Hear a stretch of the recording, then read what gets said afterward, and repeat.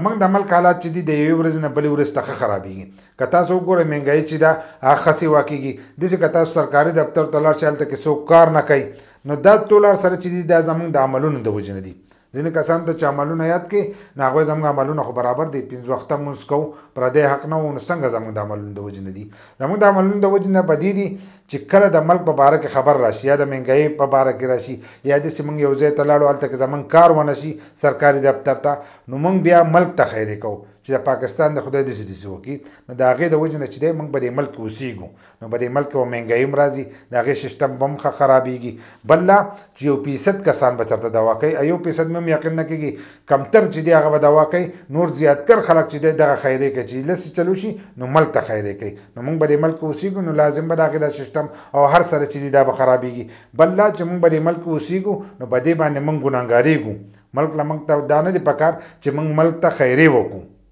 ځکه دا خو د عکس ګناه دی چې عکس خپله ډیوټي صحیح نه کوي بل لا زموږ حکمران چې دی هغه خراب دی او هغه هم زموږ د عملونو د وجې نه چې دی په موږ راځي که تاسو وګورئ تېر شوی حکومت چې دی ختمونو دی هم د مهنګایۍ خلاف راغلو لکه مهنګایۍ خلاف راغلو نو مهنګایۍ چې د خسې وکړه ځکه تیر شي ته موږ هم خیرې کولې د عمران خان حکومت ته چې په هغه کې مهنګایۍ ده وس چې دی راله نو دی د هغې نه سیوا کړه نو وس موږ دی ته خیرې کو ځینې وایي دا د هغه چې دی بنیاد ولې ښودی دی خو دا نه وایي چې دا زموږ عملونه خراب دی او په دغه ځګې کې بیا موږ خیرې ملک ته شروع کو نو چې ملک ته موږ خیرې کو موږ به لازم دغه شان ذلیل چې دی دغه شان ته بغوسیږو نو هر کله چې تاسو مونږ کوئ په مانځه کې چې دی هم خپل ملک ته دوا کوئ بل لا که تاسو وګورئ په عربو کې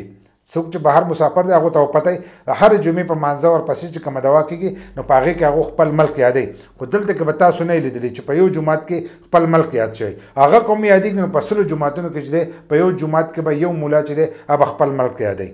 نو د روژې زبرګه میاشت خپل ملک ته ښه دوا کوئ چې مونځ کوئ نو ملک په دوا کې یادوئ انشاءالله د دې سره به د ملک حالات هم برابر شي که موږ دغه شان د خیرې کوو نو دا به د یوې ورځې نه بلې ورځې ته ښه خرابېږي دا به نه وای چې پلانی راشي نو د ملک حالات په برابر کی که پلانی راشي هغه به هم د ملک حالات چې دی هغه هم دغه شانته اوسیږي او نه به یې څوک پریدي